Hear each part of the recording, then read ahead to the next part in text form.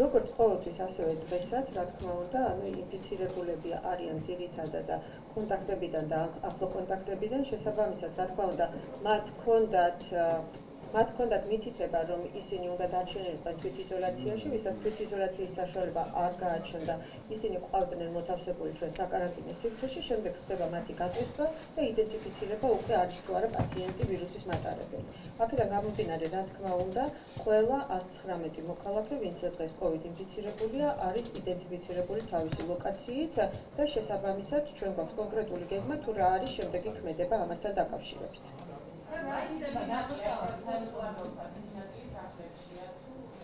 სახლებში და საკარანტინო სივრცეებში.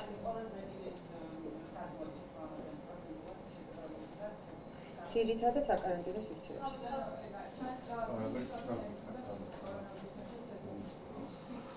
ბატკო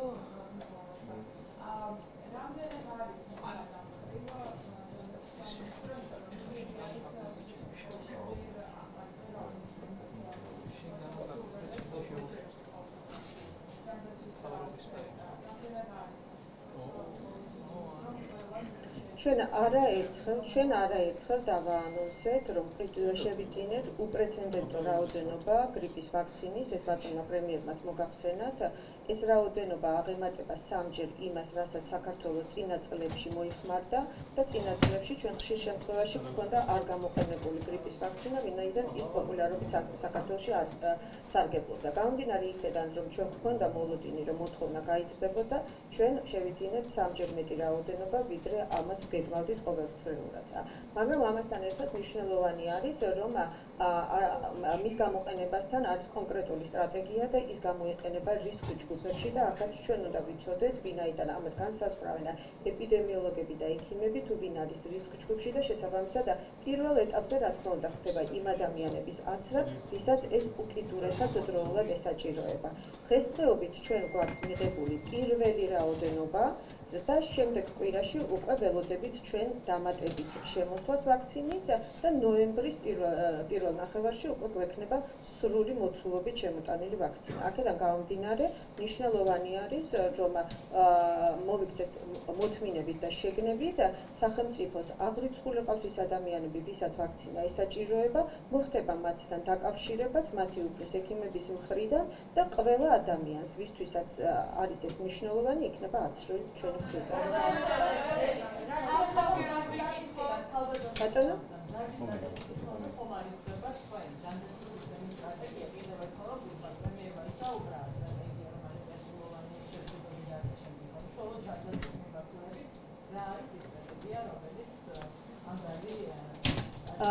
ჯანდაცვის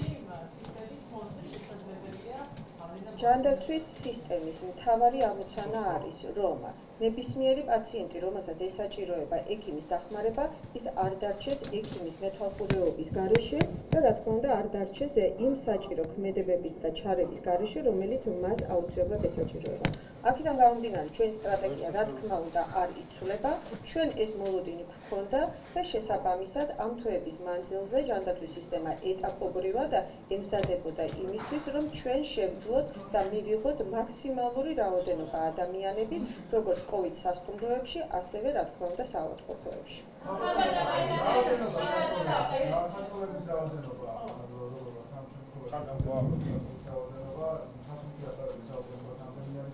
აი რა სიძონო რო თუკი აი ამ რესურსის შესაძლებლეს ჩვენ სააგენტო სამომავლო რომ საავადმყოფოში აი არის ხო დიახ, მოგახსენებთ. დღესდღეობით საავადმყოფოში კურნალობას COVID ინფიცირებული გადის 2090 პაციენტი. 500 პაციენტი ელოდება ტრიაჟის სივრცეში დადასტურებას არის ის COVID ინფიცირებული თუ გააჩნია მას სხვა ჩივილი და ამ ჩივილის დადგენის შემდეგ ის გადავა სხვა საავადმყოფოში. COVID სასტუმროში ჩვენ ამ ეტაპისთვის ყავს 1090 პაციენტი და დღეის მდგომარეობით 4000-მდე საწოლი არის მობილიზებული საქართველოს მასშტაბით მხოლოდ საავადმყოფოში. გარდა ამისა, მნიშვნელოვანია აღნიშნოთ, რომ COVID სასტუმროებში ჩვენ გვაქვს მობილიზებული 3900-მდე საწოლფონდი, რაც ასევე არის გადაფარული ექიმების ბრიგადებით და შესაბამისად იქ მოთავსებული პაციენტები იღებენ ყველა იმ საჭირო დახმარებას და გადიან მონიტორინგს, რაც მათ ესაჭიროებათ. დღის ბოლომდე დამატებით ჩაერთვება კიდევ 4 კლინიკა, რის შედეგადაც მხოლოდ თბილისში ჩვენ გვექნება 1200 თავისუფალი საწოლი, მაგრამ მნიშვნელოვანია რომ გავითვალისწინოთ, ეს არის მუდმივად ცვლადი რიცხვი, ვინაიდან ხდება როგორც პაციენტების მიღება, ასევე ხდება პაციენტების გამოჯანმრთელება. და შემდეგ დღეებში გამომდინარე დიდი რიცხვებიდან, რომელიც ჩვენ წინა დღეებში გვქონდა, ჩვენ ველოდებით ასევე გამოჯანმრთელებულ პაციენტებს.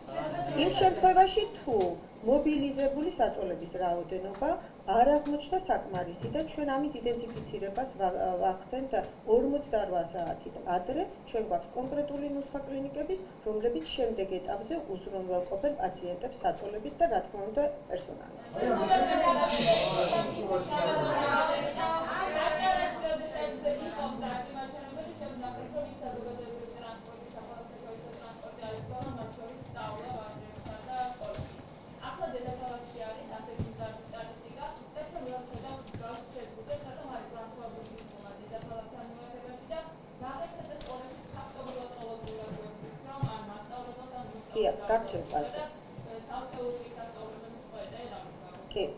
რიგში დაუბრუნდები თქვენს კითხვას ისევ, რაც შეეხება ლოდინის რეჟიმს. ლოდინის რეჟიმი ზოგადად არა მხოლოდ საქართველოს ჯანდაცვის სისტემისთვის, არც ერთი ქვეყნის ჯანდაცვის სისტემისთვის არ ახალია, რაც ნიშნავს იმას, რომ პაციენტს რა თქმა უნდა უწევს ხშირ შემთხვევაში, რომ დაელოდოს ბრიგადას იმისათვის, რომ მას გაეწიოს შესაბამისი მომსახურება.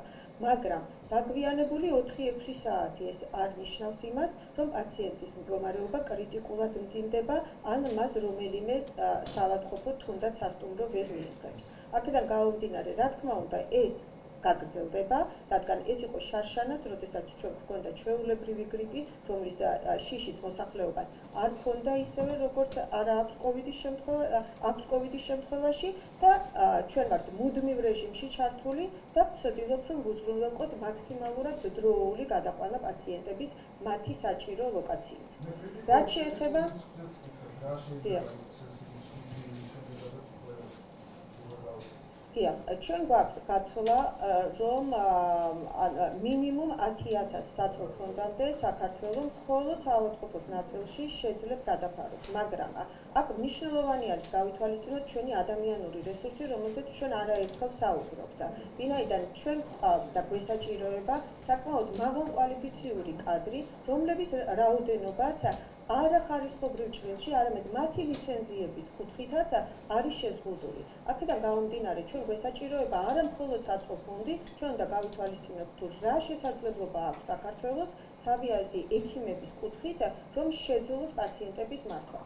სწორედ ამაზე დაფორდნობით ვცდილობთ ჩვენ მოვაქინოთ ვირუსის შეკავება და გადავადება დროის ჭრილში, რადგან მოლოდინი იმის, რომ დაინფიცირებული ადამიანების ჯამური რაოდენობა იქნება დიდი, ჩვენ ეს გვაქვს, მაგრამ ჩვენთვის მნიშვნელოვანია, რომ ერთდროულად საავადმყოფოში და სასტუმროებში ყავდეს ზომიერად გაზრდილი პაციენტების რიცხვი.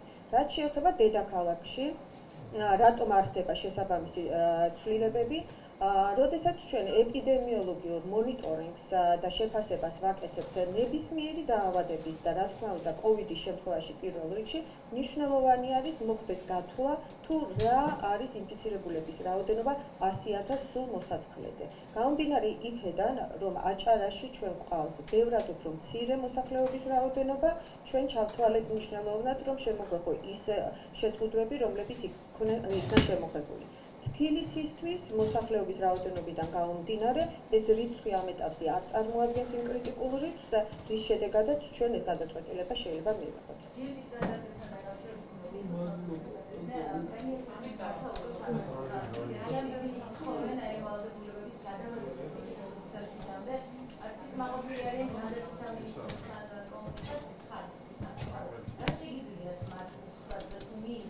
კი, სამწუხაროდ ჯანდაცვის სამინისტროს მხარეს მუდმივად ისმის კომუნიკაციის ხარისხის უკმაყოფილება.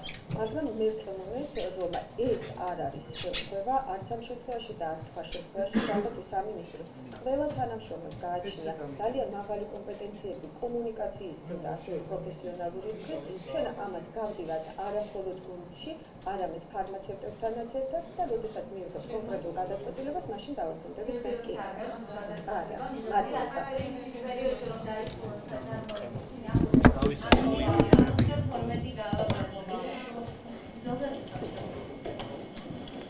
არქით მოგესალმებით. მე მგონი ინფორმაცია საკმაოდ მიიღეთ და მე მხოლოდ რამოდენიმე რამოდენიმე საკითხს დავამატებ და შემდგომ კი ბატონო ნებისმიერ თქვენს კითხვას უპასუხებ. ну ითქვა რომ დღეს რეკორდული ინფიცირების მაჩვენებელია გლობალურად დაფიქსირებული 381000 ერთ დღეში მთელ მსოფლიოში რაც არ ყოფილა არასოდეს. აა იცით ასევე რომ 39 მილიონს მიუახლოვდა ინფიცირებულთა რაოდენობა და სამწუხაროდ გარდაცვალებათა აა გარდაცვლილთა რაოდენობაც იზრდება. მე რამოდენიმეჯერ უკვე მოგახსენეთ, რომ COVID-ი თანდათან ასწრებს სიკვდილიანობის მაჩვენებლით წლიურით, როგორც შიც, ისე მალარიას ჯერჯერობით ჩამორჩება, ხოლო ტუბერკულოზ ინფექციური მკვლელებიდან და ალბათ ალბათ როგორც პროგნოზი არის, გადაასწრებს წლიური მაჩვენებლით ტუბერკულოზსაც და ჰეპატიტს.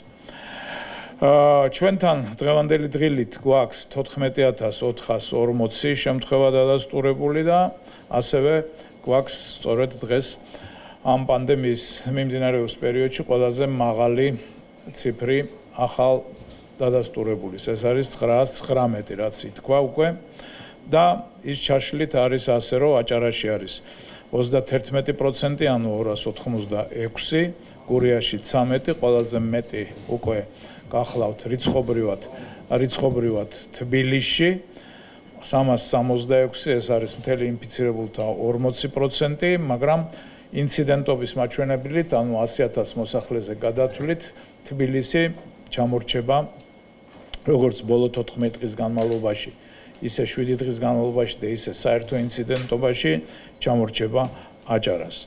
ასევე კახეთში გვაქვს 13 შემთხვევა, ცხეთამთიანეთში 11, რაჭალიჩხუმში 1, სამეგრელოზე მოსვანეთში 57, სამცხე-ჯავახეთში 3, ქვემო ქართლში 44, შიდა ქართლში 21. აქედან მნიშვნელოვანია, რომ ყველაზე მეტი ამ 919-ში გახლავან სიმპტომებიანი პაციენტები. ამიტომ ამას მინდა ხაზი გაუსვა. ანუ 919-დან 53% 488 გახლავთ სიმპტომებიანი პაციენტი. აი დღევანდელ ეტაპზე უკვე ეპიდემიის განვითარების, ანუ მეორე ტალღის პირობებში, ყველაზე მნიშვნელოვანი არის, რომ ჩვენ ადრეულ ეტაპზე სწორედ ეს სიმპტომებიანი პაციენტები გამოვავლინოთ და მასთან ახლო კონტაქტში მყოფი, ანუ ოჯახური კონტაქტები და სამსახურეობრივი კონტაქტები.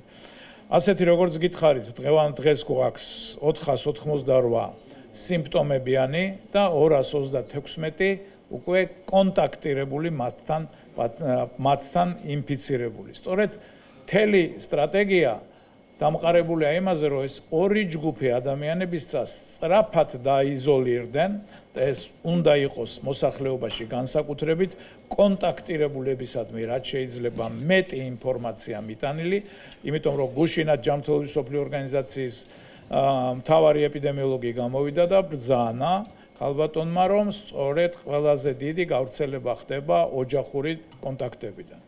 ამიტომ, როდესაც ოჯახში ვინმე ინფიცირდება, აუცილებელია რომ მისი პირდაპირი კონტაქტები სწრაფად გადავიდნენ თვითიზოლაციაში. თუ აქვთ საშუალება სახლში და არის იმხელა ფართი რომ სახლის პირობებში თუ არა, მაშინ უკვე სასტუმრო პირობებში თვითიზოლაციაში, რათა ეს გადაცემის ჯაჭვი სწრაფად გაწყდეს ხოლმე და თუ კონტაქტირებულ პირს და არ არის აუცილებელი ამას ხას უსვავ, რომ კონტაქტირებული პირები როცა ამბობენ აი დღეს ხვალ მე გუშინ ვიყავი კონტაქტში და დღეს გამტესტი აუცილებლად რომ ვიცოდე მაქვს თუ არა ინფექცია უკვე და ეს არ არის სასწრაფოა გადასვლა იზოლაციაში და დაკვირვება 12 დღის განმავლობაში. თუ 12 დღის განმავლობაში არაფერი არ ვითარდება სიმპტომები, პრობლემა არ არის. თუ ვითარდება, თქვა და ეს ყველაზე ხშირად არის ხოლმე მე-5, მე-6, მე-7 დღეს, მაშინ აუცილებელია უკვე ამ კონტაქტის გატესტვა, რომ იქ თუ არის დადებითი, მაშინ მას მოვექცეთ უკვე როგორც ინფიცირებულს. ასევე ამ ჯგუფში, რა თქმა უნდა, როცა ჩვენ შლით ამ ჯგუფს ახალ ინფიცირებულთა, ძალიან მნიშვნელოვანია, რომ იზრდება და ეს გასაგებია. ყოველდღურად ჩვენ გვაქვს სამედიცინო პერსონალის, ჩემი კოლეგების ინფიცირება და ასევე каранტინში აღმოჩენილი შემთხვევები. ზოგადად ზოგადად იცით ჩვენთან მოყოლებული იანვრიდან დაახლოებით 700 54000 ტესტი მთლიანად PCR ტესტი ჩატარებული დაახლოებით უკვე 400000-მდე სტრაფი ტესტი ანტიგენზე და ანტი ანტისხეულზე დამყარებული დღიური მაჩვენებელი საშუალო ბოლო თვის განმავლობაში გვაქვს 8200 ტესტი და დაახლოებით 1600-მდე სტრაფი ტესტი ქვეყანაში. იცით რომ სამწუხაროდ დილით დილისთვის გქონდა 113 გარდაცვალება და მის პროცენტი, ანუ გარდაცვალების გვაქვს 0.78. რაც მნიშვნელოვანია, აქ უკვე ბევრი თქვა და არ მინდა გამეორდე, მხოლოდ და მხოლოდ რამოდენიმე საკითხს, აი რაც მოგახსენეთ და ეს ინფორმაცია. იმიტომ რომ დღეს ინფექციამ ბევრ თან შეაღწია უკვე და თქვენც უნდა იცოდეთ როგორ მართოთ. იმიტომ რომ არავინ ჩვენ დაზღვეული არა ვართ, რომ არ დავინფიცირდეთ ასეთი უკვე ფართო გავრცელების პირობებში, ამიტომ უნდა მივეჩვიოთ, რომ ინფექცია იქნება ჩვენს გვერდზე, მაგრამ ინფექციასთან ერთად უნდა ვიცხოვროთ. საბედნიეროდ ეს დაავადება ისეთია, როგორც გითხარით 80-დან 85%-ში ის მიმდინარეობს მსუბუქად, ან იშვი ან შეიძლება მსუბუქზე ოდნავ ოდნავ მძიმეთ, ანუ საშუალო სიმძიმით, მხოლოდ სადღაც 12% არის მძიმე და კრიტიკული ავადმყოფები, რომლებიც საჭიროებენ სტაციონარულ მკურნალობას. აქედან გამომდინარე, უმრავლესობა დღეს და ასეთია სტრატეგია მთელი მსოფლიოსიც და ჩვენიც, როცა ინფიცირება იზრდება, უკვე მენეჯმენტს, ანუ მართვას, ისინი კლინიკურ მართვას გადიან სახლის პირობებში, მაგრამ ან ჩვენ შემოვიღეთ ასევე, სადაც ამის საშუალება არ არის, COVID სასტუმროები. მაგრამ აქ აუცილებელია ხშირი კონტაქტი ოჯახის ექიმთან, სატელეფონო თვით მონიტორინგი თქვენი დაავადების და შესაბამისად მუდმივი ინფორმაციის მიღება როგორც მასობრივი ინფორმაციის, ისე პროფესიონალებისაგან. რომ როგორც კი თუ შევამჩნიეთ, რომ დაავადება ძიმდება, აუცილებელია რომ მათი მოხდეს ტრანსპორტირება მერე მერე ჰოსპიტალებში და შესაბამისი ჰოსპიტალური მართვის გაგრძელება. რაც შეეხება დღეს მე მინდოდა რომ ხშირად როცა მე ერთი და იგივეს ვიმეორებ პრევენციულ ღონისძიებებზე რომ ეს არ არის თქვა ამირან გამყრელიძის ნოუ-ჰაუ იმას რასაც ხშირად ვამბობ დღეს აა მომეტანა თქვენთვის მე მგონი ყველასთვის ცნობილია უკვე გვარი ენტონიო ფაუჩის ხო? ენტონიო ფაუჩი გახლავთ ძალიან დამსახურებული ადამიანი.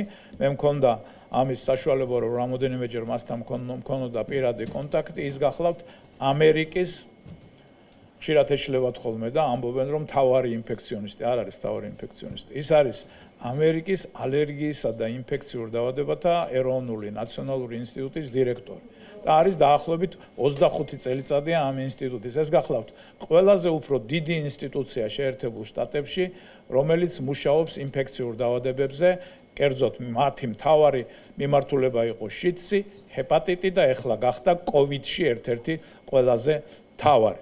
და მის სიტყვას აქვს ძალიან დიდი წონა ამერიკის შეერთებულ შტატებში და გლობალურად.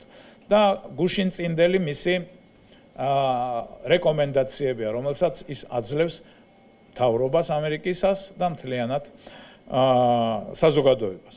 ანუ ხუთი მთავარი გზავნილი ფაუჩისგან, რომელიც პანდემიის პირობებში უნდა გავითვალისწინოთ. უნივერსალური ტარება პირბადეების. რასაც ხშირად ვამბობთ, არა? და გეუბნ გეცინებათ ახლა თქვენ, მაგრამ ნუ ანუ უნივერსალური ხმარება, ტარება პირბადის. დახურულ შენობაში მანდატორულად, ღია შენობებშიც სასურველია, როცა ინფექცია უკვე ფართოდ ვრცელდება და განსაკუთრებით დისტანციას როცა ვერ ვიცი. მეორე მაქსიმალურად ფიზიკური დისტანციის დაცვა ერთმანეთთან ყოფნის დროს. მეტრი, მეტრნახევარი, ну, უკეთესია 2 მეტრი. ხო? ну, გეცინებათ მესმის, რომ მარტივი დიახ. მესამე თავის არიდება თავშეყრების. დიდი თავშეყრების. ყველანაირი პანდემიის პირობებში რიტუალური ღონისძიებების და შესაბამისად დიდი თავშეყრის. მეოთხე ყველაფრის თქვათ გაკეთება თუ თავშეყრა პატარა მცირე რაც დაშვებულია холод და მხოლოდ უპირატესობა უპირატესად კარგარეთ ანუ გარეთ და არა შიგნით ან დახურულ შენობაში. და მეხუთე ხშირად ხელების დაბანა. ვიცით ახლა რომ აი გულში ამბობთ რომ რას გვეუბნება რას ღაპრებს გვიყვება ახლა ეს ყველაფერი ხო ვიცით. მაგრამ გარწმუნებთ რომ თუ ყველა აი ამ ხუთ ეს არ არის ახალი ველოსიპედი რასაც ჩვენი დიდად საპატივცემულო ადამიანი გვეუბნება. რა ხშირად ვიმეორებთ ჩვენს და ეს არის საერთაშორისო გამოცდილება. უზარმაზარი საერთაშორისო გამოცდილება. რომ პირბადე დღეს არის ნომერ პირველი დაცვის საშუალება. და როდესაც უკვე ჩვენ შევდივართ ასეთ ფაზაში, რომ ინფექცია საკმაოდ გავრცელდა ქვეყანაში და ამას ეს გახლავთ ძალიან საყურადღებო, მაგრამ ჩვენ არავითარ შემთხვევაში პანიკას არ უნდა მივეცეთ. იმიტომ რომ ეს ინფექცია ჩვენ ვამბობთ, რომ იქნება და კარგა ხანს იქნება კიდე ეს ვირუსი. ის არ გაქრება. ასეთი ტიპის ვირუსებს, სხვადასხვა შესავალში ფაუჩის თავისი ამ გამოსვლის უწერია, რომ ეს არის უნიკალური პანდემია 102 წლის შემდეგ 102-ს რატო ამბობს ის? იმიტომ რომ 1918 წელს დაიწყო ამაზე დიდი პანდემია ისპანკის სახელწოდებით რაც არის ცნობილი და სამწუხაროდ ბევრად მეტი ადამიანი მოიცვა ისპანკამ და ბევრად მეტი ადამიანი დაიღუპა, შეიწირა ისპანკამ. ამიტომ ამბობს 102 წლის წინ. ანუ დანარჩენი პანდემიები რაც იყო ისპანკის შემდეგ, იყო 50-იან წლებში ვიეტნამის გრიპი, 60-იან წლებში ჰონკონგის გრიპი, მერე ღორის გრიპს, რასაც ეძახდით 2009 წლებში. ისინი ვერ შეედრება ამბობს ფაუჩი ამ პანდემიას თავისი სამედიცინო და სოციალურ-ეკონომიური ეფექტით. და ამიტომ გვეუბნება და ამიტომ გვარიგებს და რეკომენდაციებს გვიწევს ამ მარტივი ღონისძიებების დაცვაზე, რომელსაც შეუძლია სერიოზულად შეაკავოს ინფექცია და ეხლა გრიპის სეზონიც რომ მოდის და რესპირაციული ინფექციების თუ ჩვენ ამ ხუთივე გზავნილს დავიცავთ და რეკომენდაციას ის სერიოზულად შეამცირებს ასევე დამერწმუნეთ გრიპის გრიპის შემთხვევებსაც. კი ბატონო.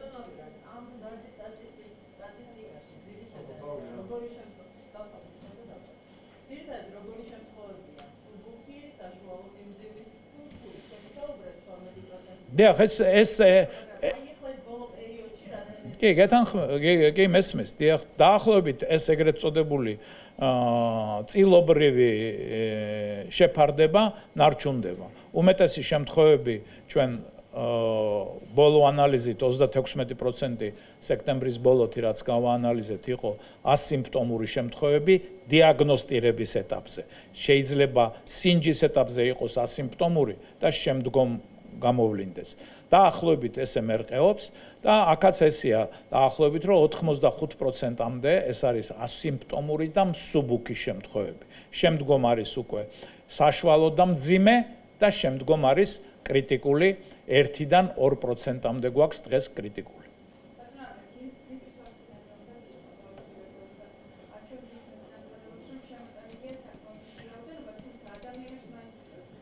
არა შემოტანილია. ჩვენ მე რამოდენიმეჯერ ეს განვმარტე სახელმწიფოს ناقიდი გვაქვს.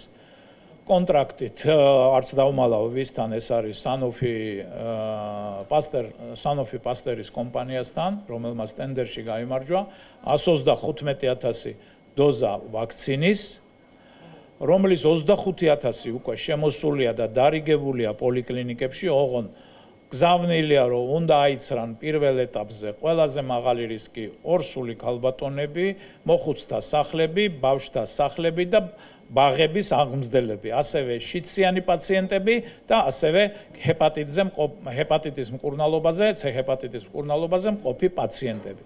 ამის შემდეგ შემოდის 23-ის კვირაში დარჩენილი 100000 დოზა ამ ჩვენი კონტრაქტიდან, რომელიც უკვე ასევე სხვა რიჟგუფებზე, როგორიც არიან სამედიცინო პერსონალი, როგორიც არიან 65 წელს ზემოთ მყოფი ადამიანები, ვისაც აქვს ასთმა, ვისაც აქვს ქრონიკული ობსტრუქციული დაავადება ფილტვის, ვისაც აქვს გულსიძარღვთა დაავადებები, ისინი.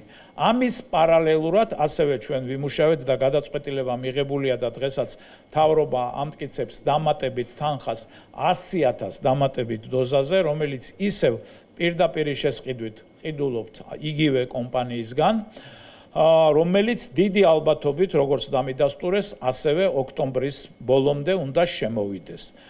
70000 77000 მისი დოზა და ამის ზემოთ კიდევ ვმუშაობთ, რომ ნოემბრის პირველ ნახევარში, უფრო უფრო მეორე ნახევრისკენ კიდე დამატებითი დოზები იქნეს სახელმწიფოს მიერ მობილიზირებული. ამის ზემოთ კიდე რაც მე მაქვს ინფორმაცია, კერძო სექტორს უკვე ქონდა შემოტანილი 20000-მდე დოზა, რომელიც გაიხარჯა და რომელიც თქვა არ არის ჯგუფებზე, ვისაც უნდა, ვინც მიდის და შესაბამისი ანაზღაურებით, რასაც სახელმწიფო შემოაქვს მოგეხსენებათ ის უფასოა ყველასთვის, ამ რიჯგუფებისთვის და კერძო სექტორს დამატებით, რაც მე მაქვს ინფორმაცია, აკეთებს მობილიზაციას ოქტომბრის ბოლო, ნოემბრის დასაწყისში დაახლოებით 40000 დოზის. აი ეს არის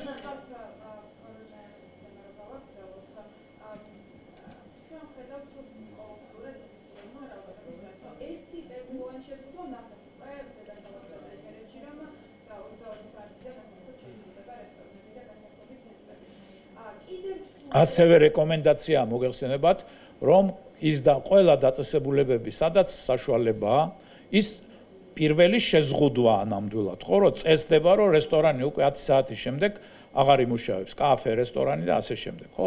ბარები და კლუბები წესით დაკეტილია და არ მუშაობენ. აა, მაგრამ ასევე მოწოდება, რომ ორგანიზაციებმა მაქსიმალურად იგივე ჩვენთანაც დაავადებათა კონტროლის ცენტრში დაახლოებით მე-13 თანამშრომლები გადასული არიან დისტანციურ მუშაობაზე და მოწოდება ყველასადმი რომ სადაც ამის საშუალება არის მაქსიმალურად გადავიდნენ დისტანციურ მუშაობაზე. ასევე მოწოდება, რასაც ხშირად ვამბობთ, რომ ხანდაზმულები თუ რაღაც განსაკუთრებულ ეს არ არის ის თქვათ რეგულაცია რაც გაზაფხულზე იყო გარეთ არ გამოხვიდე მაგრამ ეხლა არის რეკომენდაცია. რასაც ვამბობდით იგივე აჭარაშიც და ვიხმართ სხვაგანაც რომ დარჩი სახში თუ აუცილებელი არ არის თქვენი მაგრამ თუ გარეთ გამოხვიდე ამაზე არავინ არ დაგჯის აი რა თქმა უნდა, აი ესეთი წერტილოვანი ახლა ბაღში ინფექცია აღმოჩნდა ბაღის ის კლასი ან სკოლაში, ის კლასი იხურება დროებით და გადადის დისტანციურ სწავლებაზე. წერტილოვანი შეზღუდვა.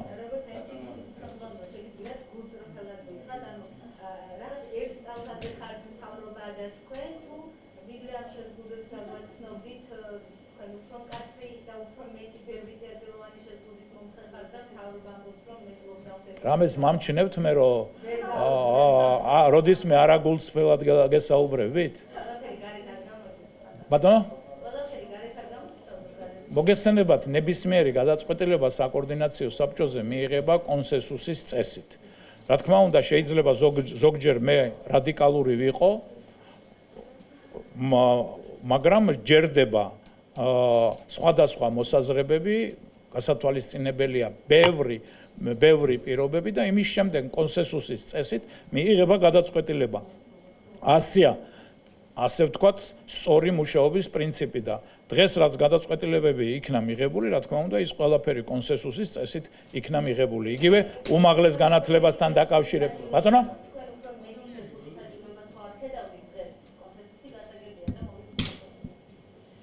აა კიდევ ერთხელ მე ალბათ რამოდენიმეჯერ ჩემი პოზიცია მოგახსენეთ, რომ დღეს მთლიანად პოლიტიკა დაავადების მართვის შეცვლილია გლობალურად და საქართველოსშიც. დღეს უკვე ძალიან კაცრ ლოკდაუნებზე აღარ არის საუბარი. მით უმეტეს იმ ტიპის ქვეყნებისთვის, როგორც ჩვენა ვართ, იმიტომ რომ ეკონომიკას ვერ გააჩერებ. ადამიანებს მეც სიღარიბეში ვეღარ უბიძგებ. ამიტომ საჭირო აი ამ დანის პირზე სიარული, სწორი ბალანსი. ჯანდაცვის სისტემა დღეს ბევრად მზად არის, ვიდრე ეს იყო ვთქვათ გაზაფხულზე. ამიტომ ჯანდაცვის სისტემა ბევრად მეტ დაწოლას უძლებს დღეს, ვიდრე ეს მოსალოდნელი იყო გაზაფხულზე. ამიტომ უნდა გაიხსნას ეკონომიკაც და ამავე დროს მზადყოფნაც. ისევე როგორც გრიპის დროს ჩვენ ხომ არ უკეტავთ ქვეყანას. ან ვთქვათ დღეს რამდენია 12000 თუ რამდენი ვთქვი 14000 ინფიცირებული დიაბეტით ყავს ქვეყანაში ოფიციალურად რეგისტრირებული 120000 ადამიანი და დაახლოებით ვთქვათ ერთი მაგდენი კიდე არის ვინც არ არის რეგისტრირებული. ახლა 240000 დიაბეტით ავადმყოფისთვის ქვეყანას ხო არ უკეტავთ ჩვენ? არა. ან რომელიმე ინფექცია როცა ჩნდება ვთქვათ ახალი ამ დროს ხო ჩვენ უნდა აი ეს სლოგანი რომ კიდევ ერთი დაგვიჯერეთ ეს. წელიწადი, წელიწად ნახევარი, სანამ ეს ბიოლოგიური ციკლი არ დამთავრდება და ამ ყველა ვირუსს აქვს თავისი ბიოლოგიური ციკლი.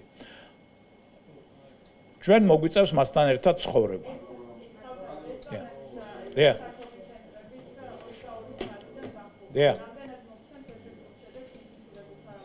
მოგცემს ზოგადად მობილობის შემცირება ამ დროს ყოველთვის იძლევა შედეგს. მე ამის მობილო ამ რესტორნებთან ერთად მოგიყვანეთ ამის მაგალითიც გუშინ გუშინ თუ აღარ მახსოვს როდის ბოლოს შეგხვდით თქვენ ხო მთელი რიგი კვლევებია რომ ამ პირბადის მანდატორულად ხმარება დახურულ და გარე სივრცეებში ანახევრებს პროგნოზულ მაჩვენებელს ანუ თუ დღეს გვაქვს 900 ეს შეიძლება მომავალი დღეების განმავლობაში განახევრდეს. უცბად არა მეორევე დღეს არა, მაგრამ დაახლოებით 3, 4, 5 ერთი კვირის შემდეგ თუ ჩვენ ყველა ამას ვიხმართ და ვიხმართ სწორედ შინ ანუ დახურულ შენობაშიც და გარეთაც განახევრდება ინფიცირების მაჩვენებელი.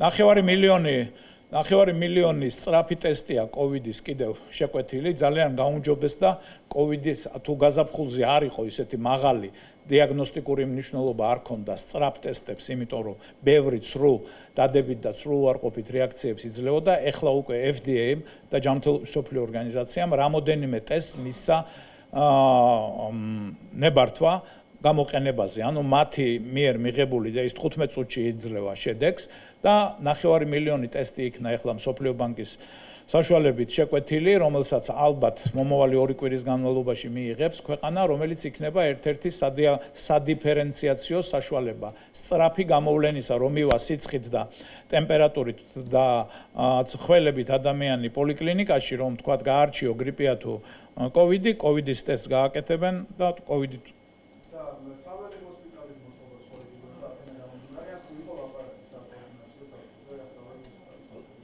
ამ ეტაპზე ჩვენ კიდევ დღეს ითქვა რომ საწოლების რაოდენობა ქვეყანაში არის საკმარისი, ამიტომ იმ ტიპის საველე ჰოსპიტალები, რომელიც თქვა ჩინეთში ნახეთ ან კიდევ სხვა ქვეყნებში, ამ ეტაპზე ეს არის გეგმება, თუმცა ქვეყანას ამის რესურსი რა თქმა უნდა აქვს.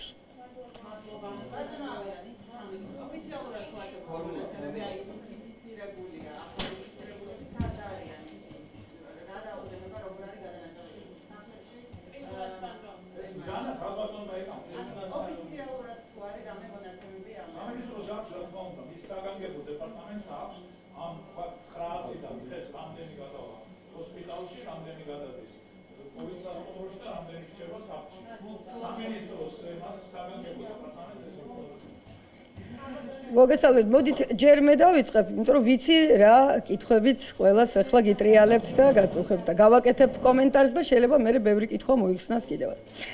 პირველ რიგში მე მინდა ერთი ძალიან დადებითი ინფორმაციით დავიწყოთ. აა საერთაშორისო სავალუტო ფონდმა ამ დღეებში გამოაქვეყნა მსოფლიო ეკონომიკის პროგნოზის მიმოხილვა.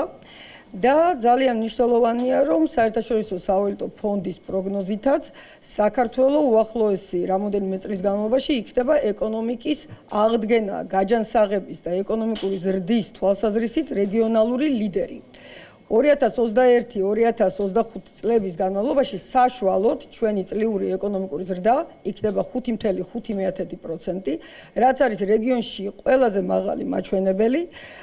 მათ შორის 2020 წელს პროგნოზი არის +5.2% და ნიშნები იმისა, რომ ჩვენი ეკონომიკა თანდათან მიდის აღდგენისკენ და გაჯანსაღების პროცესი დაწყებულია, აისახება ყოველთვიურ სტატისტიკაში პრემიერ-მინისტრმა ამაზე ისაუბრა, ეს არის შესუსტება ეკონომიკური ვარდნის თვიდან თვემდე, ეს არის ჯერ ქართული წარმოების პროდუქციის ექსპორტის ზრდა და ეხლა უკვე მთლიანად საექსპორტო პროდუქციის რეექსპორტის ჩათვლით ზრდა, რომელიც დაფიქსირდა სექტემბერში. ეს არის ფულადი გზავნილების მოცულობის ზრდა და ეს არის უცხოურ პირდაპირ ინვესტიციებში მოგზალებული, მაგრამ დადებითი დინამიკა, რომელიც გაიცად უფრო გაძლიერდება. აქედან გამომდინარე, მინდა ვთქვა, რომ ეს პროგნოზი საერთაშორისო სავალუტო ფონდის, რომელიც გამოარჩევს საქართველოს როგორც სწრაფი აღდგენის ტემპით გამორჩეულ ქვეყანას უახლოეს წლებში ეფუძნება სწორედ იმ ადეკვატურ შეფასებას ჩვენი პოლიტიკის, რომელი პოლიტიკაც პირველ რიგში მიმართულია პანდემიის გავრცელების მართვისკენ, ანტიპანდემიური ღონისძიებები ძალიან ეფექტურად ჩატარდა და ამან მისცა საშუალება ეკონომიკას, რომ თანდათან გაჩანსახდეს და ეს გვაძლევს დღეს საშუალებას გადავიდეთ ადაპტაციის ეტაპზე, როდესაც დიდი სისტემური შეზღუდვების გარეშე გავაგზავნებთ პირიქით ნელ-ნელა გახსნის პროცესს და ეკონომიკა უფრო სწრაფად გაჯანსაღდება. მეორე საკითხი არის მნიშვნელოვანი გადაწყვეტილებები, რაზეც დღეს ვიმსჯელეთ და პრემიერ-მინისტრმა გაახმოვანა, პირველ რიგში ეს ეხება ფრენებს და ეს ეხება საქართველოს მოქალაქეების ქვეყანაში შემოსვლასთან დაკავშირებულ ღონისძიებებს. ეს ურთიერთ კავშირში არსებული საკითხები. ფრენებთან მიმართებაში ჩვენ მივიღეთ გადაწყვეტილება, რაც აბსოლუტურად სინერგიაშია ადაპტაციის პოლიტიკასთან, რომ ოქტომბრის ბოლომდე გავზარდოთ არსებული რეგულარული ფრენების სიხშირე ევროპის მიმართულებით და ეს ძალიან დაგვეხმარება მათ შორის ორგანიზებულად საერთაშორისო დამკვირვებლების ჩამოსვლის უზრუნველყოფაში ჩვენი არჩევნებისთვის და ნოემბრიდან ფრენების რაოდენობის და მიმართულებების ეტაპობრივი გახსნა. ესე ძალიან მნიშვნელოვანი გადაწყვეტილება. მე ვიცი რომ თქვენ ახლა გეკეთებათ კითხვები კონკრეტულ მიმართულებებთან მიმართებაში. მე გეტყვით რომ დღეს მე ამ კონკრეტულ მიმართულებებს არ დავასახელებ ერთი მარტივი მიზეზის გამო, იმიტომ რომ ჩვენ პროექტი თავრობის გადაწყვეტილების უკვე მომზადებული გვაქვს, მაგრამ თავრობის პრეროგატივაა, უნდა იმსჯელოს და უახლოეს დღეებში აისახება ეს საჯარო გადაწყვეტილებაში, თუ რა მიმართულებები დამატებით გაიხსნება სხვადასხვა ავიაკომპანიისთვის, როგორც რეგულარული ფრენები. აა როგორც პრემიერ-მინისტრმა ბზანა, მეც გავიმეორებ, რომ ძირითადად ეს არის ევროპული მიმართულებები, ასევე გეტყვით, რომ ეს იქნება ფრენები როგორც თბილისის საერთაშორისო აეროპორტიდან, ასევე ქუთაისის საერთაშორისო აეროპორტიდან და ქუთაისის საერთაშორისო აეროპორტი ეს უკვე ნიშნავს იმას, რომ ჩვენი დაბალბიუჯეტიანი კომპანიებიც იფრენენ უფრო აქტიურად. აა ეს გადაწყვეტილება მათ შორის არის მიღებული ეპიდემიოლოგებთან, ჯანდაცვის სექტორთან ერთობლივად, ერთობლივი მსჯელობით და აი აქ უკვე მეორე კომპონენტი შემოდის, რომ ქვეყანაში ყველა შემოსვლელს ექნება ვალდებულება წარმოადგინოს PCR ტესტის ლაბორატორიული შედეგები საქართველოს მოქალაქეებს ექნებათ ალტერნატივა კლავაც სავალდებულო каранტინი, მაგრამ მე დარწმუნებული ვარ, რომ ბევრი ჩვენი მოქალაქე ისარგებლებს ამ უფლებით, რომ წარმოადგინოს ნეგატიური PCR ტესტის შედეგი და წავიდეს თვითიზოლაციაში, ნაცვლად სავალდებულო каранტინისა.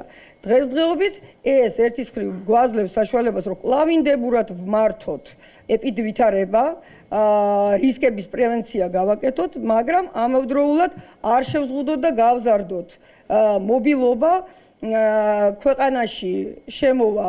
მე ძალიან დიდი იმედი მაქვს. დამატებით ტურისტი რა თქმა უნდა თუ კი ზოგადი ეპიდვითარება მოგცემს გლობალური ეპიდვითარება ამის საშუალებას ბიზნეს ვიზიტორებიც უფრო მეტად შემოვლენ და ჩვენი მოქალაქეებისთვისაც უფრო მარტივი იქნება მიმოსვლა. მესამე რამ მინდა ვთქვა, სანამ გადავალთ კითხვებზე, იმიტომ რომ ძალიან ასევე დადებითი ინფორმაცია არის. ამ რამოდენიმე დღის წინ საქართველოს მთავრობამ იცით, მიიღო გადაწყვეტილება, რომ გარკვეული დარგის კომპანიებისთვის, მათ შორის IT კომპანიებისთვის, კომპიუტერული ტექნოლოგიებით და პროგრამული უზრუნველყოფით დაკავებული კომპანიებისთვის განსაკუთრებული დაბეგრვის რეჟიმი შემოიღო, შეღავათიანი რეჟიმი და მოგების გადასახადი და საშემოსავლო გადასახადი 5%-ზე აა დაწია. და ჩვენ გვაქვს უკვე პირველი დადებითი შედეგები გამოხმაურება ამ გადაწყვეტილების საქართველოსი ამ დღეებში შემოვიდა ძალიან მსხვილი ამერიკული IT კომპანია EPAM-ი მან მიიღო გადაწყვეტილება საქართველოსი თავისი ოფისის გახსნის შესახებ და უკვე 30-მდე თავის თანამშრომელი წავს შემოყვანილი ქვეყანაში რეალოკაციას ახდენს თავის ბიზნესის საქართველოსი ეს არის მსხვილი ამერიკული კომპანია რომელიც საქმიანობს 30-ზე მეტ ქვეყანაში და ასაქმებს მთლიანად სოფლიოში 35000-ზე მეტ ადამიანს. მის გეგმებში შედის უახლოეს პერიოდში საქართველოსი სულ მცირე 400 მაღალანაზღაურებადი ახალი სამუშაო ადგილის შექმნას ჩვენი მოქალაქეებისთვის და აი ეს არის პირველი შედეგი, მაგრამ ამას მოყვა ბევრი სხვა მსგავსი გადაწყვეტილება, სწორედ ჩვენი სწორი გადაწყვეტილების შედეგად.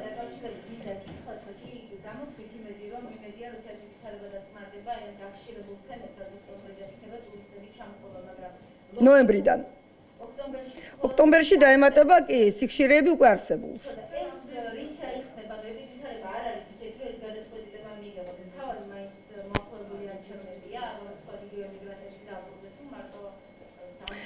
ჩვენი დიდი პასუხისგებლობაა რომ მოახლოებული არჩევნები ჩატარდეს უმაღლესი დემოკრატიული სტანდარტით კარგად ნორმალურად და ჩვენ ამისთვის ყველაფერს ვაკეთებთ.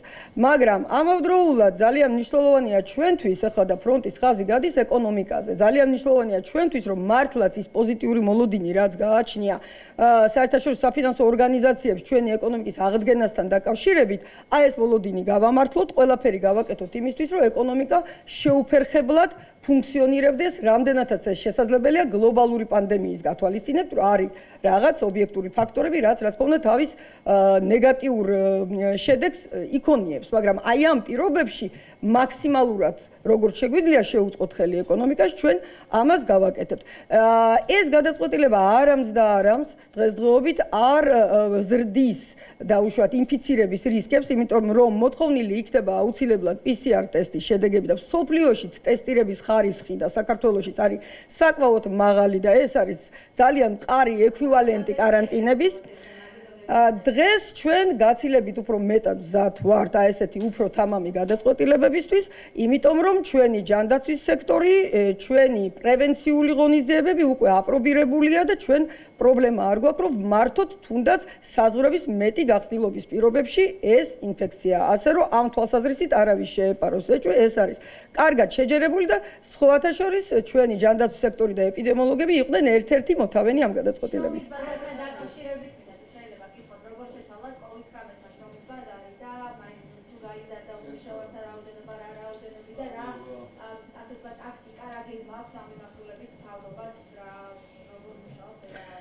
ბუნებრივია გლობალურმა პანდემიამ ძალიან ბევრ ქვეყანაში გამოიწვია უმუშევრობა საქართველოსიც რა თქმა უნდა გაუჭირდა მოსახლეობას კომპანიებს გაუჭირდა და გარკვეული დოზით უმუშევრობა გაიზარდა ამაზეც საერთაშორისო საფინანსო ინსტიტუტებიც საუბრობენ და ეს გარდაუვალი იყო მაგრამ ჩვენ აქ ორი მიმართულებით მოქმედებთ.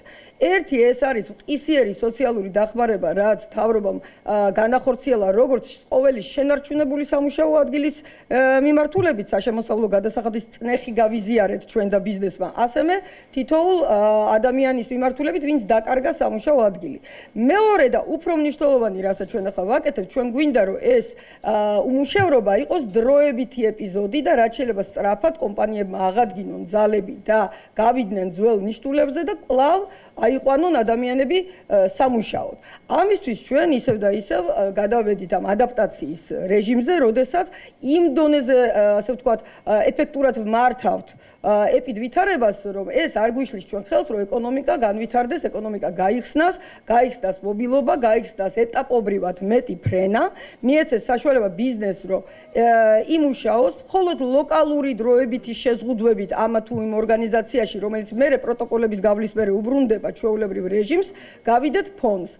ეს არის იმის გარანტია, რომ უმუშევრობა თუ კი ასეთი ეპიზოდი ეხლა არის აი ამ გლობალური პანდემიის გამო იყოს დროებითი და არ მიიღოს ხანგრძლივი ხასიათი და უფრო მეტიც თქვენ თუ შეხედავთ კარგად ჩვენს ჩვენი პოლიტიკური გუნდის ქართული ოცნების საარჩევნო პროგრამის ეკონომიკურ ნაწილს თავარი ამოსავალი წერტილი არის დასაქმება და ადამიანების კეთილდღეობა. დასაქმება იქნება ჩვენი თითოეული საინვესტიციო პროექტის ერთ-ერთი მთავარი კრიტერიუმი.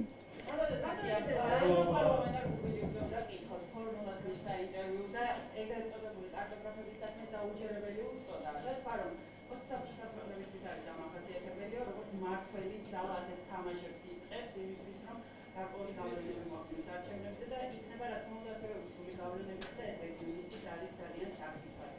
ო ძალიან სამწუხაროა რომ ბატონი კუბილიუსი როგორც ჩანს დეზინფორმირებულია და აქაური პოლიტიკური პარტიების აი ამ სპეკულაციურ ნარატივს იმეორებს. ძალიან სამწუხაროა.